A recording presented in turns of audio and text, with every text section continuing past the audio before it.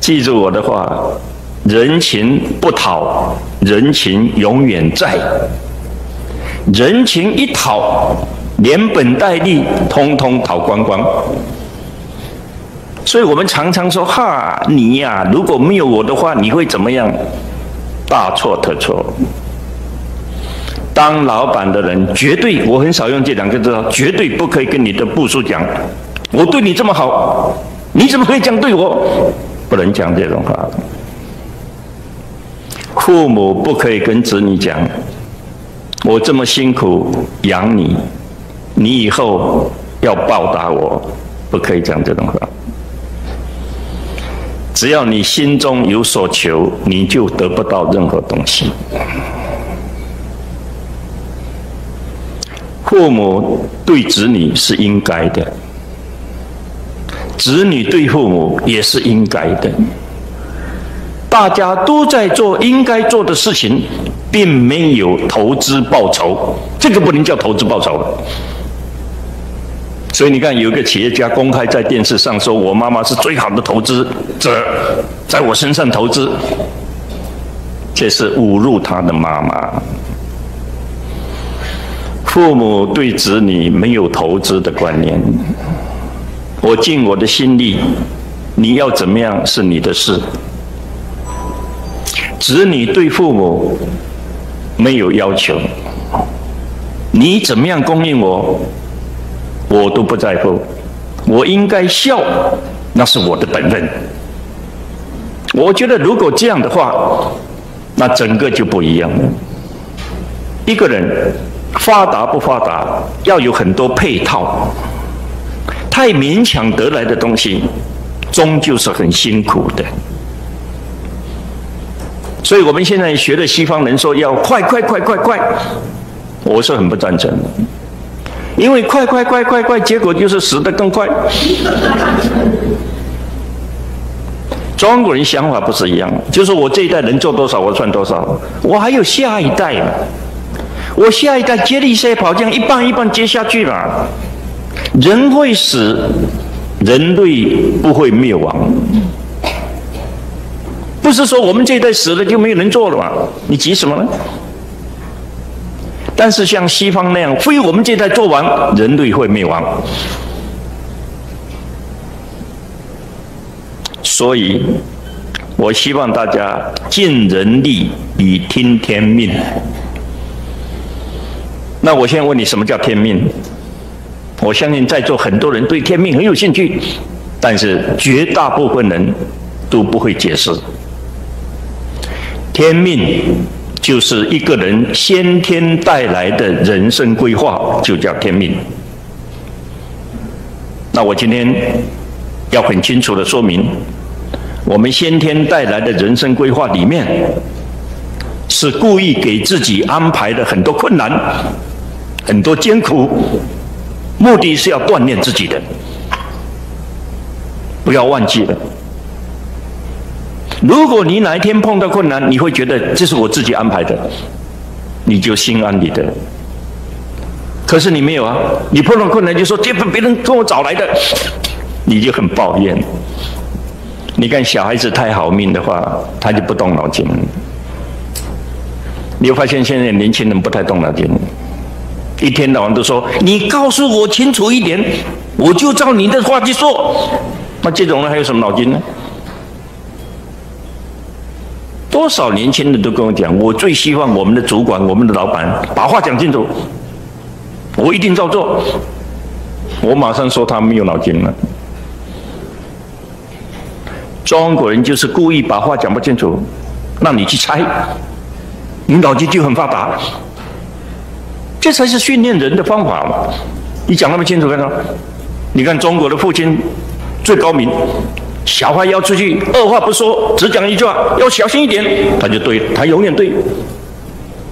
你出去被车子撞到，他说叫你小心，你不小心；你出去被小偷把钱包掏走了，叫你小心不小心。他总包嘛，就是小心你不小心而已。因为他讲的不明确，他讲的很含糊，所以他永远对。你要好好去好好去体会一下这个东西。现在不是，现在因为受西方的影响，都是要讲很明确、很确定，那经常错嘛。你出去不要掉到水沟里面去。他回来说：“爸爸，你看我都没有掉水沟里面，你乱讲，完了。”他这次是被狗咬到啊。可是爸爸说要小一点，他就包括不要倒到水沟里面去，不要被狗咬到，他一切都包在里面。你急什么呢？中国人告诉你，凡事谨慎一点，小心为是，这没有错的。因为你永远不知道你会碰到什么事情。人有困难才是正常的，一切很顺利不正常，你要小心一点。所以，当你很顺很顺的时候，你要小心，可能阴沟里要翻船了。人都是在很顺的时候才会出差错，因为你顺的时候你就不用心了，你就认为没有问题的，不会的，操那么多心干什么？最后回来才知道说完了完了完了。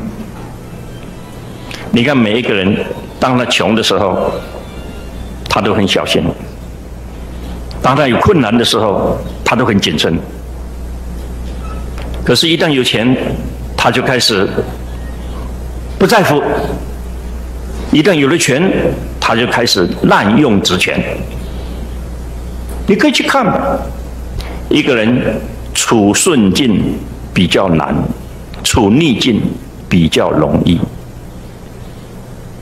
各位有没有发现，我所讲的跟各位平常所想的几乎很多是不相同？各位有没有发现，一个人呢？他一定要很专心、很安心，人家才会觉得你可靠啊。老是想，老是坐不住，动来动去，那您做什么？你到美国去看，为什么黑人的地位始终不如白人？就是黑人，他一天到晚塞个耳机，然后唱歌，这种人能做什么吗？能做什么呢？但是我们现在都流行这样，糟蹋自己。你看结婚照，照到自己都不敢看。我问他，你照这个相干什么？他说我不知道。我说将来要给你小孩看的的。他说啊，他就怕了。他说这种照片怎么可以跟小孩看呢？我说你现在才知道。那你为什么这样照？我没有办法啊，那个摄影师叫我这样，我就听他摆布。我说给人家钱还被人家虐待，你有脑袋吗？就是今天的人们，就是今天的人们，什么设计师，他懂什么？最好叫你们两个衣服都脱光，你还付他钱？你笑话了。大家有机会到山西去走一趟。全世界第一条华尔街不是在美国，是在山西附近的平遥。那一条街上面银行二十几家，通汇到全国，甚至日本、韩国都可以去。他们一板一眼、规规矩矩、现代化的银行所做到的，他都做到。我问你金库在哪里？现在银行金库要上锁，搞半天，最后还是被偷掉。人家那个时候没有，那些银行就在掌柜的椅子下面挖一个洞，所有钱放进去，人就坐在上面，最安全嘛。有没有洞？我在这里最知道嘛。一张支票开出来，马上知道是真的假的，随时知道。他有很高明的防卫的办法，还有远来的客户招待所，他都有。反正你今天想到的，当年都做得到。山西的晋商曾经是全国最富有的商人，那里面也有胡雪岩的名字，因为当年他在金融界也是非常有势力的，人家不敢收的银子他都收。你看很多人一看银子怎么旧旧的、黑黑的就不敢收，他收，来路不明他收。所以最后很多大官都存款在他那里，因为大官最怕的就是他的财产暴露，那存在他那里，他又不要跟你登记，他又不怕你钱从哪里来，他又不会告诉你你有多少钱，最保险。他有很多那种思路是别人想不到的，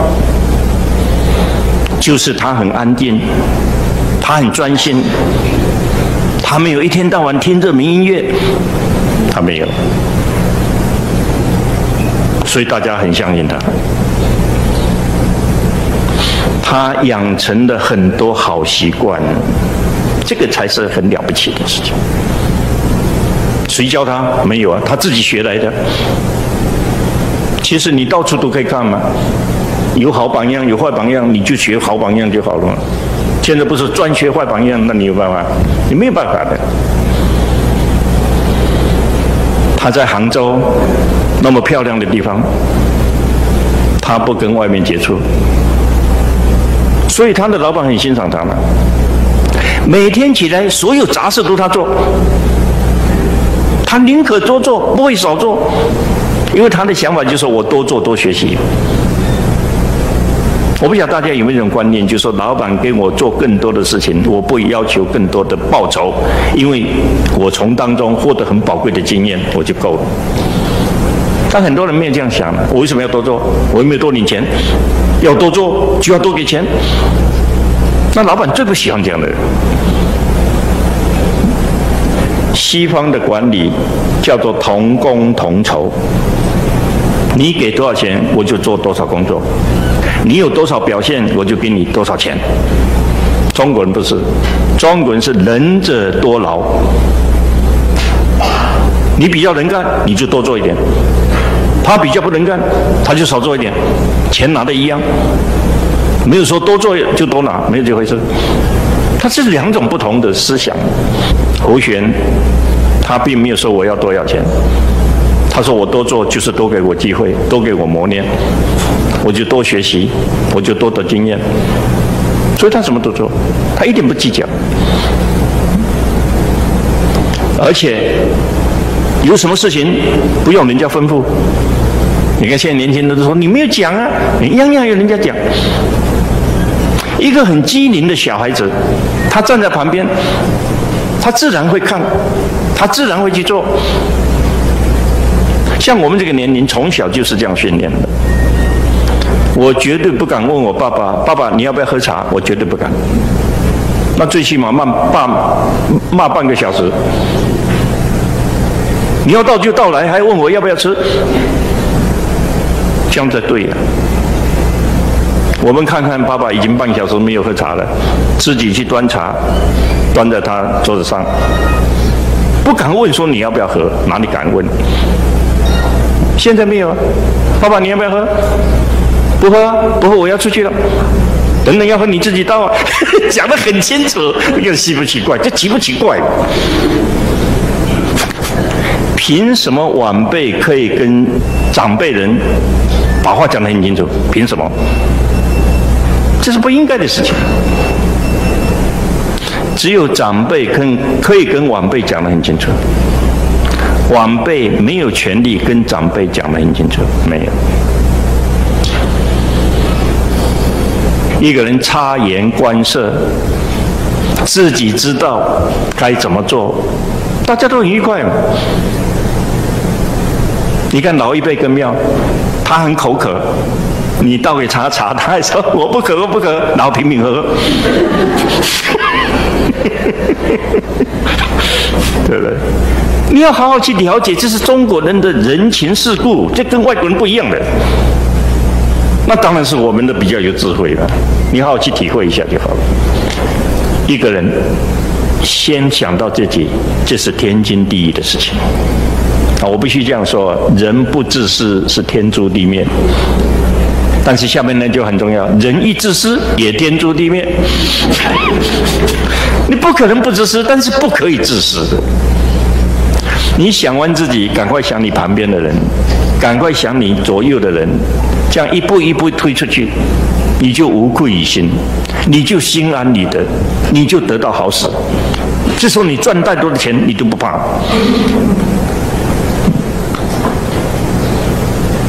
人很简单，你要人家快乐，跟要人家不快乐，其实是你要人家快乐，跟要人家不快乐，其实是举手之劳而已。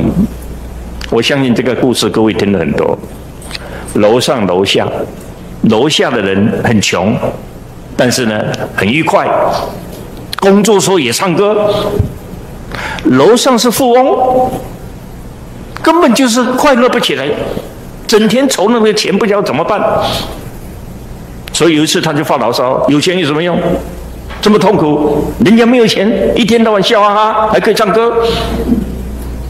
他的朋友就说：你想快乐，你想让他不快乐，太简单了。你现在把钱给他，我保证他唱不出歌来，轮到你唱了。是真的，他说你试试看，他马上把钱拿给多下，从此底下，哎，嗯，一个歌都没有了。轮到他一直唱，你没有钱还怕什么？唱，有钱就唱不出来了。其实很容易，钱重要不重要？一条线，当你没有钱的时候，钱非常重要。当你钱够用的时候，钱一点都不重要。我希望你把那一条线把它抓住，不要那条线一直往上走。那条线一直往上走，那你就贪得无厌嘛，你这个人就贪得无厌嘛。够用就好，多了痛苦，不够麻烦。而且那条够了，其实是每一个人不一样，每一个人不一样，也不需要一样。为什么要一样？你认为这样够就够了，他认为不够就不够嘛。要彼此尊重，不要求得一致，也不可能求得一致。有很多人一有钱他就想做别的，一有钱他就改变他的初衷，这是非常糟糕的事情。啊，你看多少人最后是变节，这个一变节就整个完了。人生就在乎那个一以贯之，从头到尾。都是这个目标，那才可难能可贵。因为中国人警觉性很高，所以怀疑性很重。我们很会怀疑人家，就表示我们警觉性很高。怀疑别人是没有错的，但是不经过调查就推论是不可以的。我已经讲很清楚，我们怀疑，我们要去调查，我们很仔细去看看。如果不应该怀疑，我们就不怀疑；应该怀疑，那最好表示我们不会上当，这样就对了嘛。是中文事情，他老是这样走两条路，摇摆不定，他是有道理的，就叫做兼顾，两边都兼顾。他有钱以后，其实他生活也很严谨。他也知道，他一奢华以后会变成晋朝的失宠，后果是不好的。但是，因为你家财多了以后，很自然的，别人看起来你就是奢侈了，你很难避免这个东西，因为这个东西是比较得来的，在你认为已经很好了，但是别人看起来你就是奢侈。上一次我在电台的时候，有人问我，说为什么有的人有那么大的气魄，可以花年终分红的时候给那么多股票，给那么多钱，这样好不好？我是这样回答的，我说如果你坐电梯困在里面，人家会同情你，会帮你忙。我也可能，但是如果一个很有钱的人被困在电梯里面，报纸啊、电视啊，重复的报，大家看的真的很开心，会不会？会。为什么有钱人被困在电梯里面，我们就很开心？为什么有钱人摔一跤，我们就哈哈大笑？这 什么道理？为什么有钱人风水被破坏的，我们都齐声叫好，活该？这 是什么道理？不是中国人见不得人家好，不是，而是你太没有顾虑别人的感受。老讲，你关起门来，你要花几十万、几百万，那是你家事，你不应该在电视上说说。你看我就是这么有办法。最后一定报应，一定有报应，而且是不好的报应。上天对女人是很优厚的，女人可以改变三次，男人一次都没有。你看，女人月经来的时候，就是她要改变体质的最好的机会。会做妈妈的人，要在女儿来月经的时候就去调理她。本来长得不好看的，现在会变漂亮；本来长得虚弱的，现在会变强壮。第二次就是生产之后的坐月子，会把你整个体质改变过来。我们都没有注意到，女人一生有好几次可以改变你自己，这是男人没有的。像这些事情，做爸爸的比较不方便去跟女儿讲这些事情。妈妈就应该好好的去教导他。日本人是讲的非常清楚，他说母女之间应该无所不谈，这才是好妈妈。我后来看到我女儿也是这样，我女儿每天晚上跟她的女儿小女儿在一起，两个人谈个没有完的。我就问他：“你们谈什么？”他说：“我养成习惯，让我的女儿把她今天从头到尾的事情都讲给我听。”我说：“你为什么这样？”他说：“这样我就很放心，因为我对她完全了解。从小养成习惯，做女儿的事无大小，原原本本、老老实实，都跟妈妈去谈。”妈妈就可以随机教他很多很多的事情，这样的话，做妈妈的很放心，做女儿的，她就可以学到很好的东西。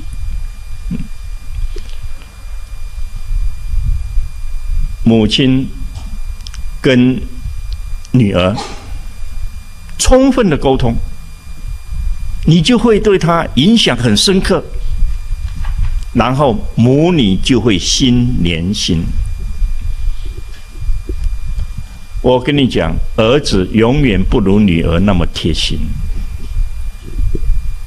有一句老话，大家都很清楚：没有规矩，你就无法成方圆。一定从规矩开始，你才能变化。有什么事情？我去摸摸清楚，这是最好的。我们经常啊，不去搞清楚，然后就去传话，就弄得自己没有信用。从现在开始，先从基础做起，没有关系。任何人我赞成你，从现在开始，你从基础做起，你可以进展的很快，就够了嘛。从现在开始。所有人的人养成习惯，任何事情先认真的看得清楚，就是这样。我们不是那个已经失火了，就开始叫着火了，火大的不得了了，整个烧光了，其实根本没这回事。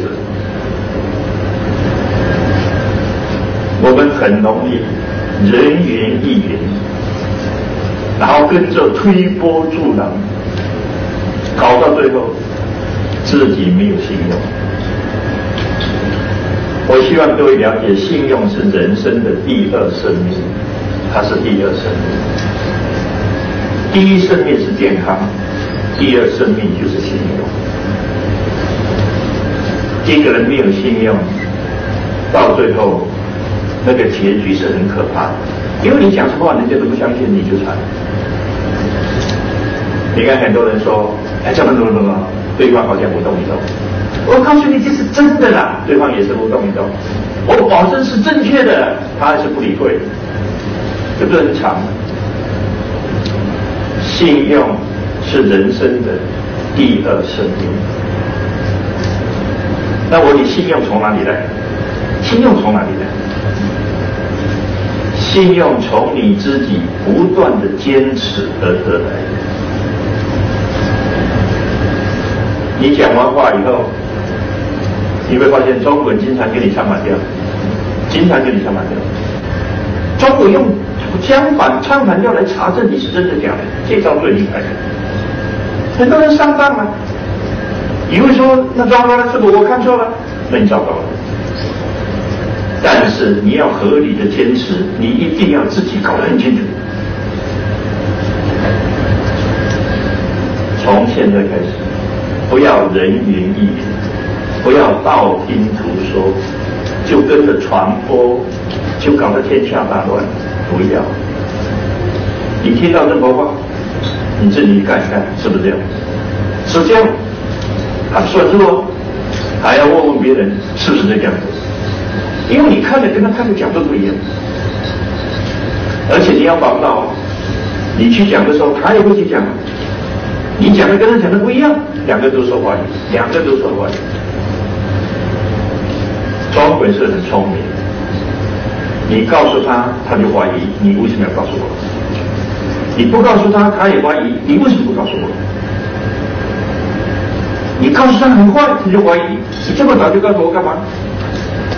你比较迟告诉他，他说为什么你先告诉别人，不告诉我呢？这是很厉害的，你从这个差异性，你就可以抓到真相，你就可以抓到真相。你看他每次看到你都慌慌张张，你就开始怀疑，看到我有什么好慌张的？可见你很多事情骗我。他每次看到你都很得定，你怎你看每次看到我就装得很得意，可见他也在骗我。中国就非常有意思的，过与不及，过与不及都不行，都不行。所以我现在要讲一句话，在中国社会，你一定要经得起考验，你一定要经得起考验。几乎所有的人都在不断的考验你，都在不断的试探你。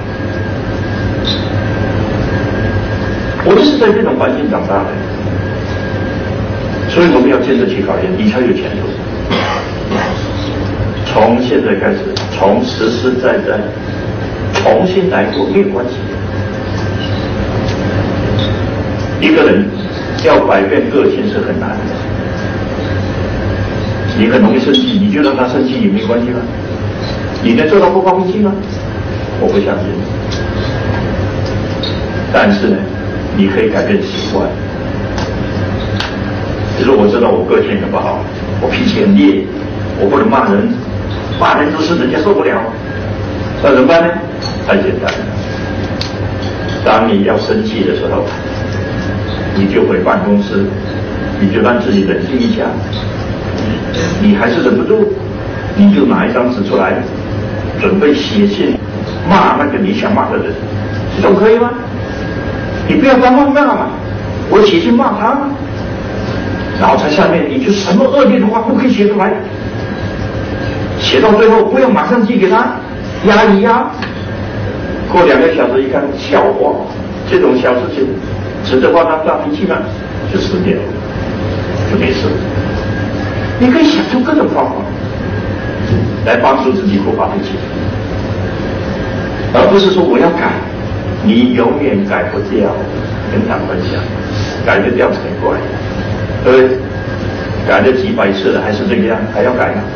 不要改了，想办法转移。我看到很多人呢，他一想发脾气，他就出去一阵，哪怕到附近公园溜一溜，他回来他没事。人是情绪，而情绪会起伏。我建议各位不要马上反应。我们现在人都很喜欢马上反应，叫做立马有表现。你你立马有表现干嘛？这样害死自己。我们都反应很快，但是要让自己反应不要那么快，你就成功。所以我一再跟很多人讲啊，当你受到什么刺激的时候，不要用嘴巴反应，千万不要用嘴巴反应。用嘴巴反应，那种话都是不好听。不好听怎么样？大家就慢慢的有疏离感，然后人家对你也就保持距离，你就得不到人家帮助。从现在开始，有任何刺激进来，第一招，嘴巴闭起来。而不是张开，一张开你就会讲满天的话。闭起来，闭起来，那个刺激就会上升到脑部，然后怎么样？你会想一想，这有什么好发脾气的？值得我这样做吗？然后你再反映出来，你就不会那么样激烈。先让自己冷静下来，再反应。如果你觉得只要他在这里，我就是按耐不住，我就没有办法，那很简单了。你二话不说站起来，出去走一走，就没事。没有办法走怎么办？那很简单，你就拿起纸来，就在纸上臭骂他一顿。千万记住，骂住骂完，不要马上记，就是不要马上反应就好。一个人要求自己反应不快，不是好现象。有反应马上表现出来，害死自己。最好的办法就是说，我用转移的方法去转。人与人千万记住，只能用脸色来暗示，不能给人家脸色看。我想就这句话而已。你可以用你的脸色来暗示说，我我不大喜欢你。你可以暗示可以，但是摆给人家看，那是不可以的。人家干嘛看你脸色？人家没有必要看你脸色。你的脸色透露一些资讯给他，他会很感谢。你摆脸色给他看，他不必要，他不要接受。你算什么？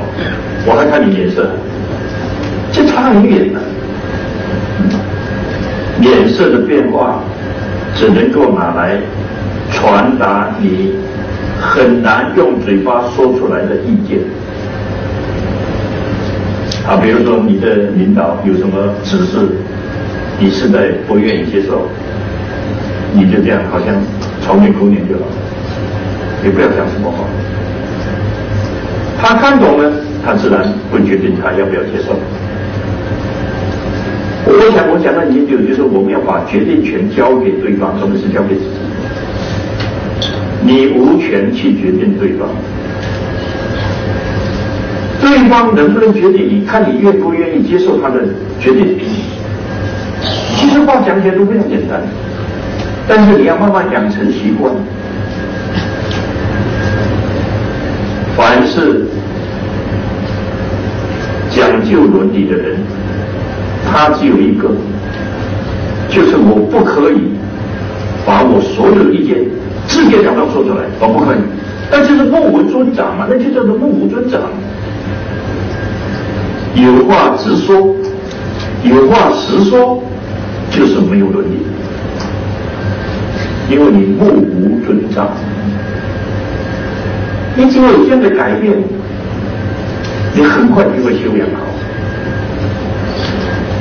听清楚，当你务实了以后，你就开始要学应变。我这话是很有道理的，就是说你不够务实，你就不要想什么应变，那就乱变。一个不务实的人去变，就叫乱变；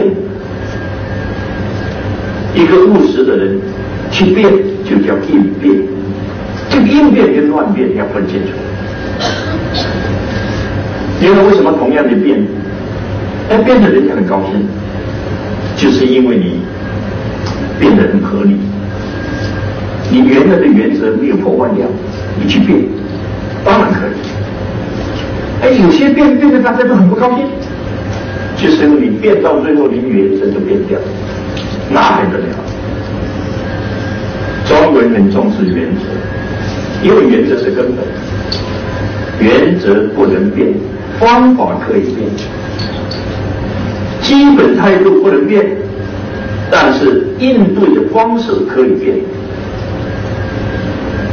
叫做有所变，有所不变。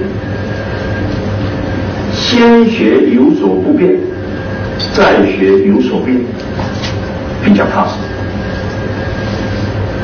搞不懂有所不变，就开始去追求有所变，天下大乱。所以我们目前呢，都在讲求新求变，其实非常不合适，非常不合适。变是指那些守得住原则的人，你才可以放心的让他去变。一个人连基本原则都守不住，你叫他变，大家都很倒霉。这样各位才知道，我们中国人教小孩，只要告诉他不能乱变。我们从来没有教小孩去求新求变，从来没有。因为做父母的很清楚，他一乱变，我家庭就完。不要乱变，他站在不要乱变的立场来变，他就会变得很合理。这是我第二个建议，从现在开始，当你很务实之后，你就开始要应变。怎么应变呢？先想不要变，好不好？不是先变，先想变。你想要变了，你就乱掉了。各位一定要小心，现在的人跟以前人是有很多不地方不同的地方。以前的人，你看到他，就给他一个糖果，他很快就灌嘴巴里塞，他很放心。现在谁敢？现在人家给你一个糖果，你敢吃？我不相信，因为一吃就会迷掉啊。然后全身东西被他拿光了，你还敢吃？他以前人，我们看到人，我们实在没有太多的想法，就说拿出一个糖酒给他，哎，他就吃了就高兴。现在不行，现在你要请人家吃糖果，依照我的方法没有错，把一个糖果拿出来，先看一看，嘴巴还要讲，哎，不错，还很新鲜，还没有过期，都讲给他听的嘛。要不然你发神经了，你要吃不吃你自己还去捡那个，然后拿一拿，哎，这个包装还不错啊，还没有漏，就告诉是新开封的啦，你不要以为说这是假的，或者是是什么我吃不完吃不完给你的，对不对？他应该今天放心，然后东拉西拉拉不开，最后拉开了，不能拿给他吃，不能，自己先吃一个，嗯，没事哦。然后看看过三分钟了，大概没有毒了。来来来，你也吃一个，他马上就吃，然后不吃才怪。这就叫人际关系。为什么叫人际关系？只要你那个过程很合理，人家对你很相信。要不然的话，你难怪人家怀疑心很重。你要变，要变到大家很乐意接受，你就成功。变到大家都怕，变到大家都讨厌，变到大家都不敢接受，你就完。你看产品产品的创新，有百分之八十是不成功的，所以不要满满的说创新创新，创新风险性非常大，但是不创新呢？不创新死路一条。我觉得今天就充满了矛矛盾，今天到处充满了矛盾。不创新，准备死；一创新，也会死。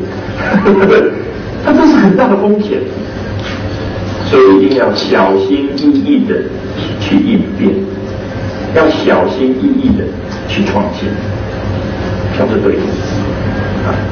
所以多半就是少量的试试看。看看反应怎么样，再调整，然后做到很有把握的，才退出来，才量产。它这有个过程，这非常重要。人际关系也是这样，你会发现我们到最后啊，我们跟每一个人关系都不太一样。希望呢是一视同仁，因为大家都是上帝的兄弟姐妹，所以我跟你跟上帝是相等的，没有什么亲疏的分别。中国人不是。你看中国人看到熟人他会笑，看到陌生人他马上关起脸头。外国不是，外国人看到谁他都笑，他笑不是真心的，他是礼貌。所以很多中国的男生啊，看到美国的小姐对他笑，他以为说哦，这个人很中意我，其实他只是对任何人都笑，他哪里对你一个人笑？他会错意。中国人不一样。中国，你看打电话最容易看出中国人热情。你谁呀？中国人啊，是你啊！你看，马上变两个人，变快了。对，除了声音听声音听不出来，谁？好了，有了呢？奇怪，一听就声音，没问题，什么？客气什么事我们永远是亲疏有别的民族，这个没办法。所以为什么说熟人好办事？就这么简单。西方人要办事情，他看谁有专业，你去办；中国人要办事情，看谁有关系，你去办。他不管你什么专业。你看我们要做一件事情，就先问了：哎，我们这里边有哪一个人跟那一方有关系的？有没有？你说我有关系。什么关系啊？我跟他是亲戚关系，哼，马上请你来做单位，马上就做单位，就是你最了不起，全靠你了。可是呢，他会试你是真的假的。他是这样好吗？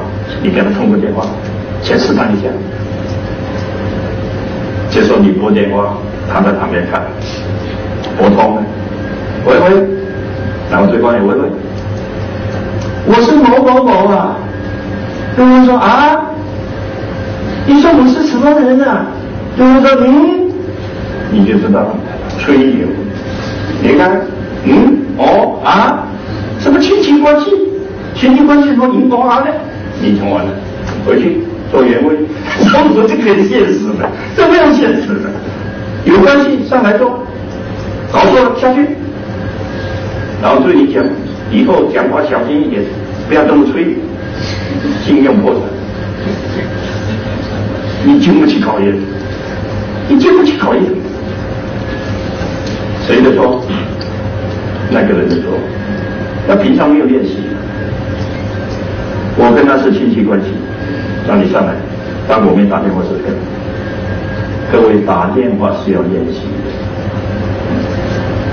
你拿起电话来，告诉他我是北京。你先说我是北京，因为我们这里面有很多光碟在里面，磁盘在里面。他在忙的时候，你说我是某某某，他突然间搞不清楚你是谁了。我是北京，他马上把磁盘一关，换到北京那个盘子。北京他只认识一个人，马上说你是某某某啊，不得了。你看，我才说北京，他马上知道我是谁。关系够吧？来来来，再做三面，再做三面。中国这个你不要灰常面了，你经得起考验，你就得到你应有的尊重。不要讲废话，我们都在讲废话，讲废话会到最后就是废掉自己了。平常要养成习惯，否则到时候一定吃大亏。平常很务实，不说废话，不乱说话，简单明了，抓住要点，然后你应变起来之后，你才知道这是要讲什么话，那是要讲什么话，对不对？很多年轻人就吃这个亏。其实他很认真，他很负责，工作做得很好，但是始终跟上级的关系就是不好。很简单，他的上级打电话给他，你现在有没有空？他怎么？他回答你是谁？他就很气啊，我是谁？我还没问你是谁，你要问我是谁？他说那你究竟是谁？你看这种人笨到这个地步，但你有什么关系呢？搞了半天还是谁是谁？你想天底下有谁会讲这种话？只有你顶头上司才会讲这种话。你还在问你是谁？还有更惨的，对不对？派他打电话来，晚上要不要回家吃饭？你还问他你是谁呀？他问你你还是谁呀？你就完了。你说不完了，回家你看看试试看，你还有晚饭吃，我都不相信。就是自己跟自己找麻烦。关系就是这样破坏掉的，不整个破坏，怪谁怪自己，没怪谁。一个人一定要实实在在，但是下面那就很重要。一个人只知道实实在在，你永远没钱。但是我要警告各位，因为我看过一本书的封面，我这个人封面我看不惯的话，我不会去翻书。那本书的封面书名叫做《做人不能太实在》，我非常反对。那个绝对不能当书名，可以当书的内容，不能当书名。当书名会害死很多人。做人一定要实在，怎么可以不实在？站在实在实在的立场来不实在，这样才对。一开始就不实在，你就完了。所以很多时间差那么一点点。那就不得了。做人一定要实在，站在实在实在的立场来不实在。你看，你给人家一个很实在的印象，你偶尔讲一些不实在的话，人家会觉得一定有原因，他会谅解，你不会存心骗我。如果你一开始就不实在，你让人家感觉你这个不实在，那你所讲的都是骗他的。对你是很珍贵。我们要给人家一个很实在的印象，然后你去变，大家就会觉得你一定有原因，你不是乱变的。你一开始就给人家一个不实在的观念，你一变，人家就能乱变，又乱变。这个差太远。应变刚开始。十次有八次是不对的，并不是那么容易，变是高度困难。你看你不变，他没事；一变就挨骂，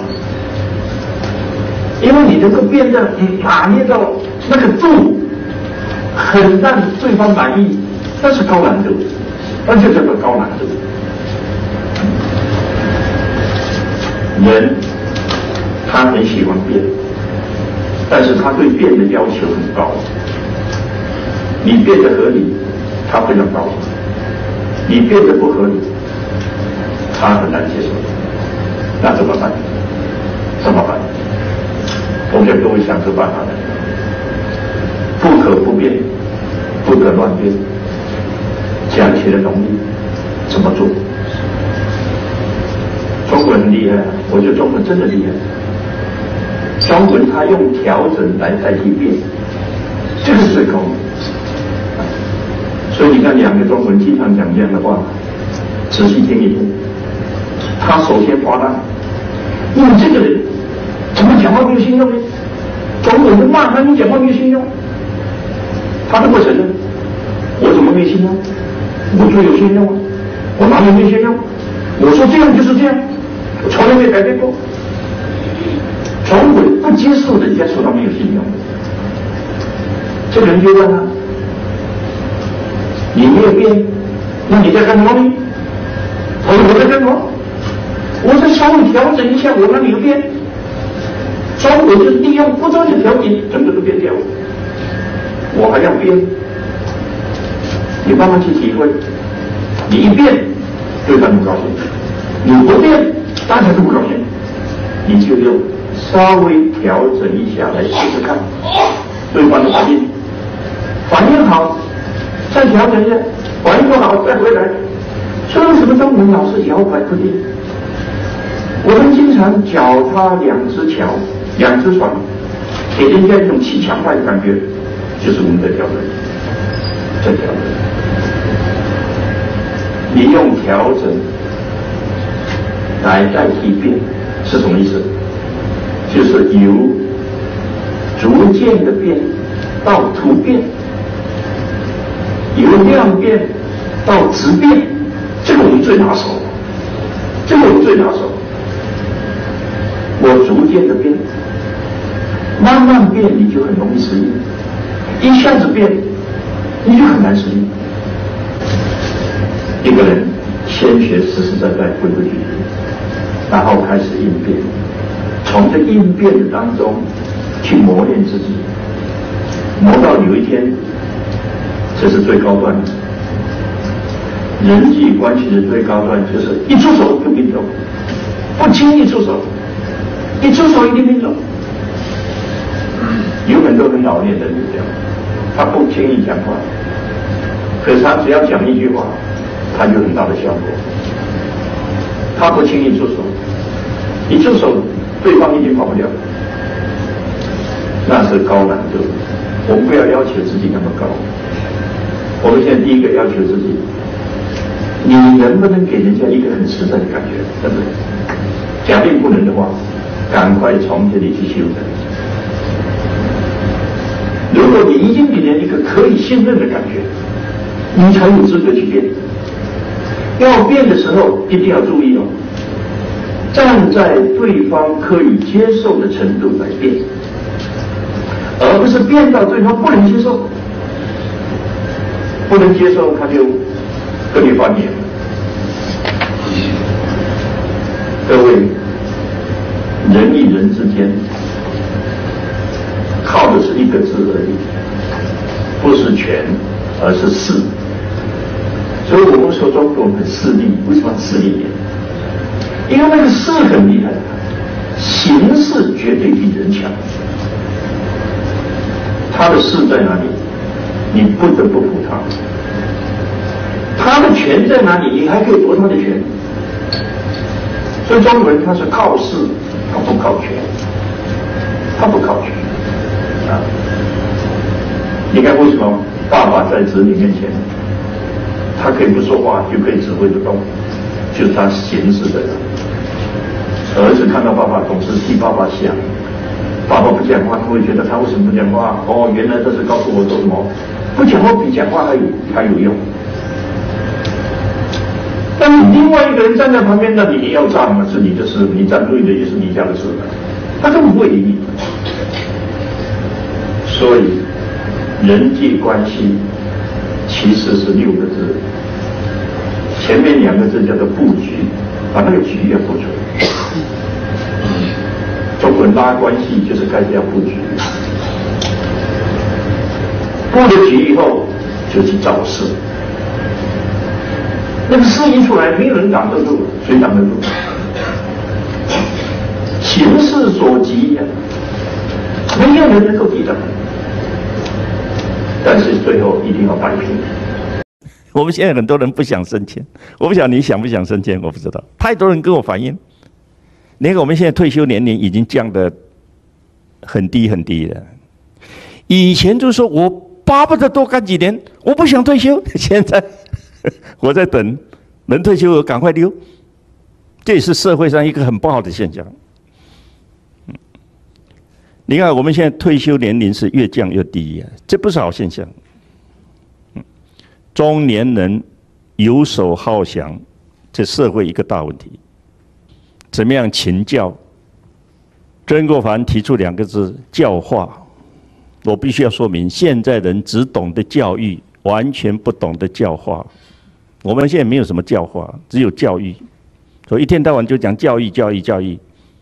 我们很少人会体会到什么叫教化。这个“化”字很难，“化”字就是所有人跟你在一起，都会不知不觉的受到你的潜移默化，受到你无形的影响，而他自己去改变他自己，不是你硬性规定，不是你逼迫他，不是你立下规矩要求，不是你考核，都不是。他反正跟你久了以后，他慢慢跟你一样，这个就叫化。这化是很难的，以身作则，起表率的作用才叫做化。不断的用口头上讲道理去教导他，就算是苦口婆心，也只是教而已。所以教化就是经师，还要兼人师，才是真正的好老师。第二个，他每一个人都要甄别。他见过一个人以后，他事后就会有一个记录，就好像我们现在说来个客户，你就要做客户的资料表一样的道理。他见过一个人，他回来，他用几个符号，你看，凡是打三角形的，就是这个人不能用，不能用，啊，凡是打圆圈的，就这个人可以用，凡是打两个圆圈，这个人很好用，如果一竖或者一点的，就说根本不要谈，打入冷宫。他有嫉妒，就是不要让脑筋混乱掉，清清楚楚有一笔账。我问你，你现在会这样做吗？大概不会，因为人家只专门要偷你那一本了。那你一曝光，你就得罪所有人。所以很多事情呢，我们必须要看当时的情况来做实理的合理的调整。我当预备军官的时候。那时候我们的军官，我们的主管呢，专门考核我们呢，每个人资料啊写的清清楚楚的。然后我分发到澎湖，从高雄出发要去澎湖，要上船的时候，那个主管集合我们，各位，坐船是会吐的，会昏船的，你们给我小心。像我这样的坐这么久的船，我才不会昏，你们会有晕船的。结果一上去不到十五分钟，他吐得一塌糊涂。我们好像没有一个人晕船，那么晕船总要找事情做啊，就把他个人资料偷出来，因为他都不知道了。一看，哇，你说我这样不对，说我那样不对，有一利必有一弊。我再说一遍，以曾国藩的身世，他写那个，他够分量。我们一般人要特别小心。你做那个传出去，有时候是笑话的，有时候是笑话的。每一个人要斟酌自己的状况，你该怎么做，你自己去衡量，去拿捏。他把所有人才分门别类，各有专精，因为他需要嘛，他有这么大的需求嘛，而且他有这么好的推荐的权。第三个，保举办大事以选拔替手为优先。这告诉我们，其实各位这点是可以做的哈。你当总经理，你跟所有的部门主管都讲，你们要升迁可以，你先把接班人跟我培养出来。你接班人培养出来，我认为说可以，大家认为说合适，你就提升，他就上来了。否则的话，你最后留在那里了。这个倒是可以做的。所以当时李鸿章啊、左宗棠啊。呃，都有把接班人先都弄好，而且也都告诉曾国藩说：“你放心，意思就是说有好缺，你可以提升我，我下面有人会接上来。”他这方面做的蛮好的。还有一个叫做超卓，就是特别的拔着你破格的提升。那我现在请问各位，这样好不好？你现在做得到吗？你看，以前当一个大学校长，他敢请钱穆，钱穆完全没有学历啊，钱穆是完全没有学历的，就把他请来当大学教授。现在谁干了？国内谁干？大陆最近就发生一件事情了，有一个教小学的，所有家长都说他好，社会人士都说他好，就希望他去教中学，但是就是不合格，闹得很厉害啊。然后就说你们这个法令算什么法令？像他这种人才一个破格都用啊！所以这次中国一方面告诉你要守规矩啊，一方面告诉你不能死守规矩啊，一方面告诉你要有制度啊，一方面告诉你这制度算什么啊？弄丢了。我都是从社会现象我去归纳出来这个原则的。我们现在是学历至上，有那一张学历，不管你有没有实力，他都无所谓。但是没有那个，你就很难突破，这是现实问题。凡是破格提升，一定有人给你打问号：你是不是收红包啊？他是不是走后门呐？是不是上面交代的？还是怎么样？怎么样讲一大堆？可是你不破格的用他，我你你看没有眼光，没有魄力，对不对？很难做，真的很难做。具体的方法他都写得很清楚。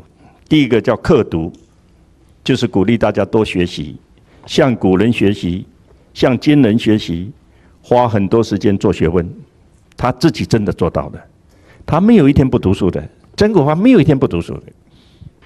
第二个。要历练，其实历练最好是用磨练这两个字比较好。很多只有历没有磨是不行的，要经得起磨，磨了以后，你才有很深刻的印象，你才有丰富的经验。最好是磨出几层皮来，那你这个人就了不起了。在实际工作当中，接受磨练，涵养你的性情，增长才能。而且还要对症下药，给他培养，给他教导，好好任用他。可见要招培栽培一个人不简单，真的不简单啊！你要用很多的心。第三个，言传身教，每一天的言行举止都要以师表的立场，然后对所有跟随他的人都做出潜移默化的教化作用。这三点通通以什么？以关怀。爱护做出发点，他是为他好，而不是为他自己好。不是说我现在有人可用，不是，而是人才难得，要给他有发挥的能量，跟我没有关系。要能够做到这一点，才是大公无私的。曾国藩家训的八字诀，你看早一定要早起，因为自然的规律就是早睡早起，身体好。一直到老还是不会改变的。曾国藩他出身农家，所以他早起很习惯。可是李鸿章就不一样了。李鸿章家里很有钱，他不会早起的。所以李鸿章刚刚开始跟曾国藩的时候，曾国藩是规定早餐要一起吃，这样才有团队精神。可是李鸿章就是起不来，每一次都叫人去找他，他都推辞。我肚子痛，啊，我昨天晚上睡太晚了，讲一大堆理由。曾国藩怎么做？曾国藩有一天早上就派三个人轮流去请李鸿章，请到他来才开动，他没有来，我们通通不开动。结果李鸿章到的时候很难为情，曾国藩没有讲他，但是也没有表情，一句话都不说，就这样默默的吃了。各位就那么一次，李鸿章从第二天开始天天都准时到，没有一天会迟到的。你骂他有什么用？可是你不讲他行吗？只有用这种方法。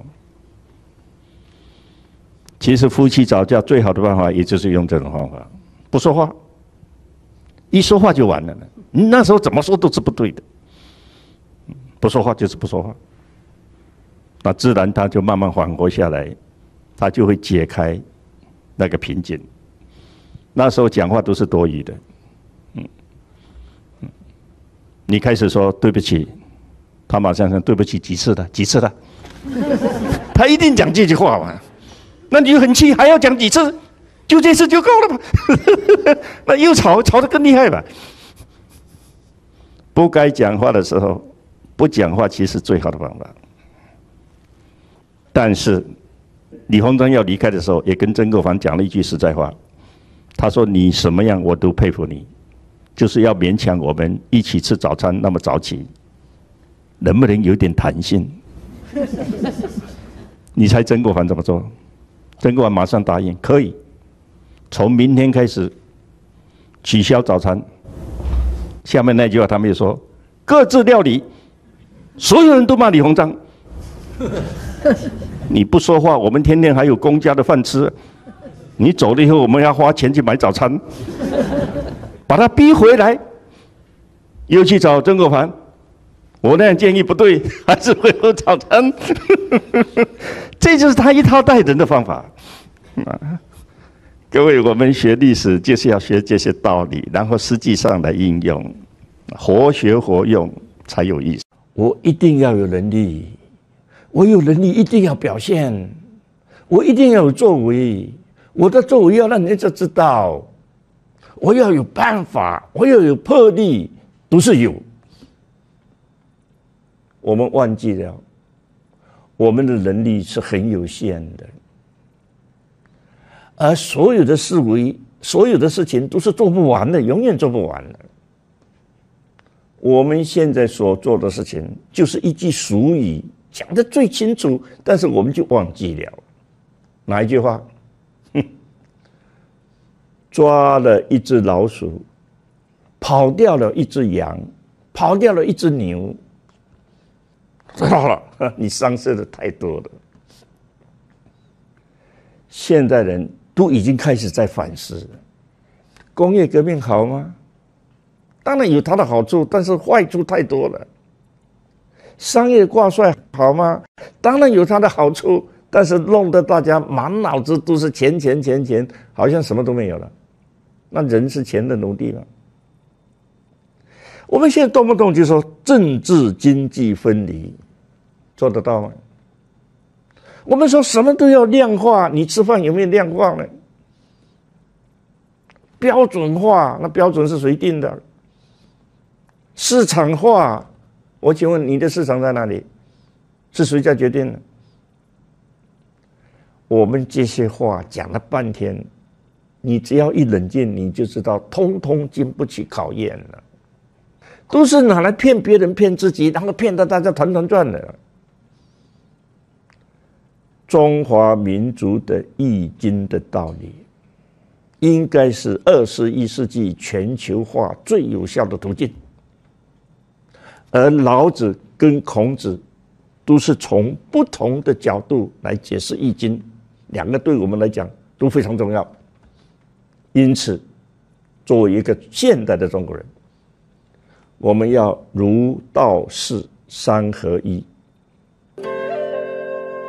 天之道是利而不害，圣人之道是为而不争啊！这对现代人有多大的启发？让我们共同来遵守天之道。圣人之道，对地球村的发展，一定是正面的、积极的、有价值的。这才是我们中华民族在二十一世纪对全人类最伟大的贡献。六十四卦，它是把所有的我们所能够碰到，其实西方也在讲。situation 也在讲这个情境管理。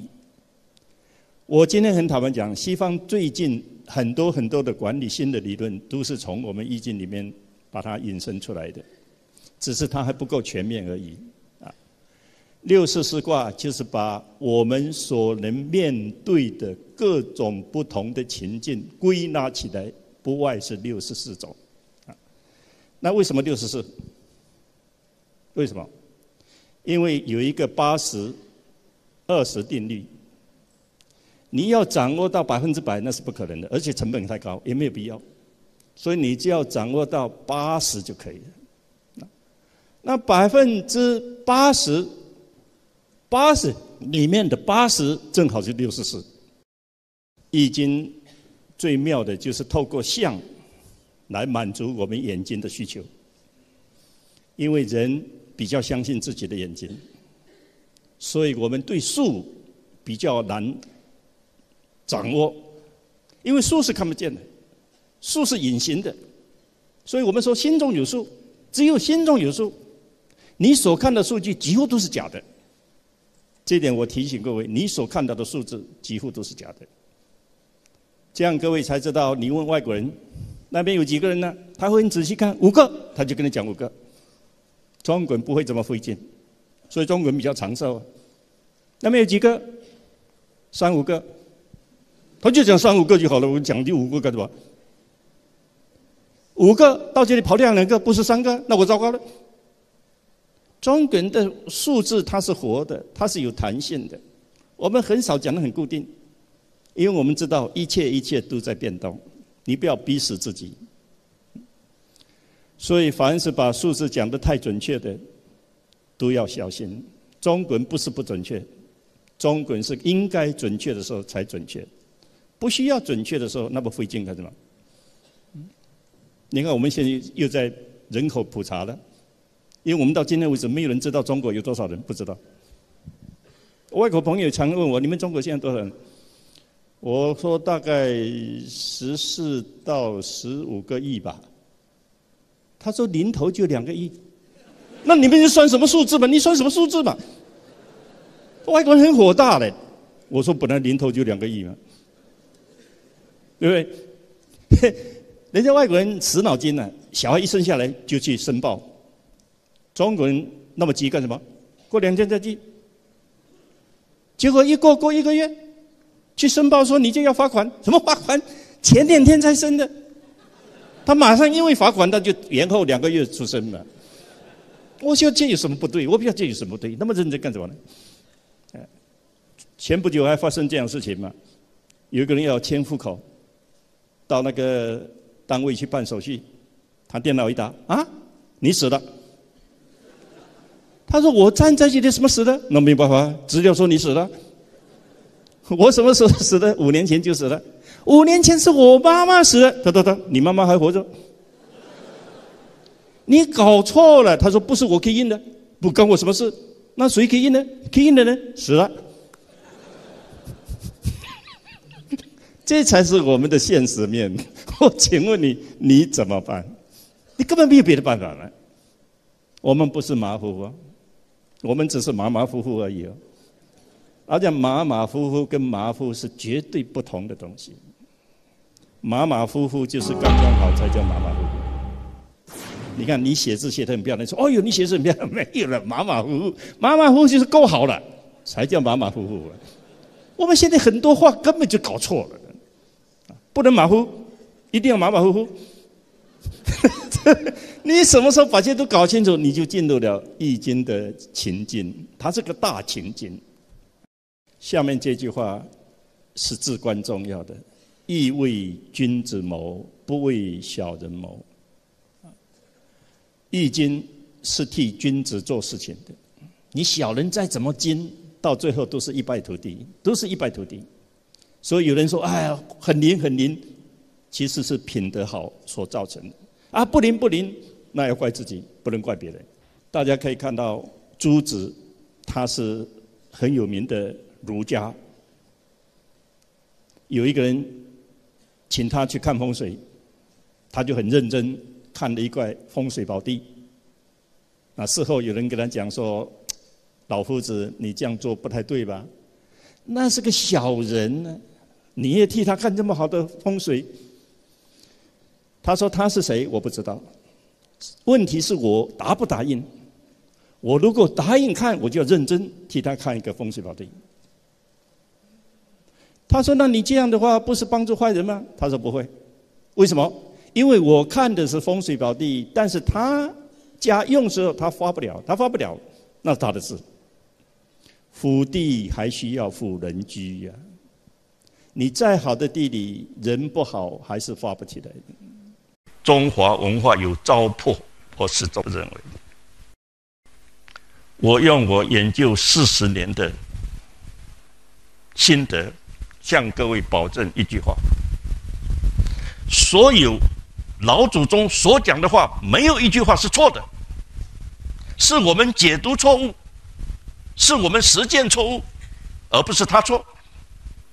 我举个例子好了，人不为己。天诛地灭，你看传几千年，啊，人不为己，天诛地灭，没办法，人非自私不可，先想自己才有办法想到别人呢。没有这回事。哎，这不合道理嘛？不合的道理怎么会流传那么久呢？可见我们读错了嘛？完全是我们的错。人不为己，那个“为”要读成“为”字。人不为己，天诛地灭。那个“为”就是做出来的意思。人不把自己的天性、不把自己的道做出来，天诛地灭。就一个因念错了，整个错了。这是我们炎黄子孙应该每个人都特别警惕的。我们经常把责任推给这个，推给那个，我们忘记了孔子告诉我们要反求诸己。我们忘记了老子告诉我们，一切都是先天在我们心里头就有的，要不然老百姓怎么说我心中有数呢？数在哪里啊？人有人性，做一个人如果不能按照人性去走，天诛地灭。天下无不是的父母，有这回事吗？可是传那么久呢？可见也是我们解释错了。天下无不是的父母，不可以解释说父母都没有错，不可以。天下无不是的父母，应该这样解释：天下的父母基本上都是人，只要是人，迟早犯错。哪个父母没有错的？但是你是他的子女，用不着你讲，你也不可以讲。这才是正确的意义。我再说一个故事。日本有一个华侨，非常会下围棋，围棋高手。他下围棋，没有人下得赢他。一位教授就请教他：“你下围棋下的这么好，有没有一定赢的妙计？”他说：“没有，这下围棋很难。”会下到最后不知道谁赢谁输。那个教授说：“我有，我绝对不会输的。”他说：“你这么厉害？”他说：“我不下，我不下怎么会输呢？”这样各位才知道为什么我们中国的小孩子在外面打架受伤回来做老爸的人一见面就是一个嘴巴掌打过去。外国人都觉得我们太残忍，不会教育小孩。其实我们才是对的，我们才是有智慧的。各位，你的小孩在外面跟人家打架，打输的，然后这里出血，满身大汗，哭哭啼啼的回来，你是安慰他，还是出手打他？当然要出手打他。你打他什么？打他说你打不赢人家，你为什么要打呢？你不跑回来呀？全世界都不懂这个道理。他们总觉得他打输你要安慰他，你安慰他，他下次更乱打，更输的厉害了。老子是有智慧的，所以老子很感慨。他说：“我讲的话很容易懂。”大家为什么都听不懂？我讲的话是很容易做，为什么大家不会做呢？这他的感慨嘛。道就是我们的本。后来我们把它通俗化，叫做良心。这样各位才知道，诸子百家其实讲的道理都是相同的，只是用的话不一样。这样各位才可以了解为什么老子开宗明义第一章就告诉我们。道可道非常道。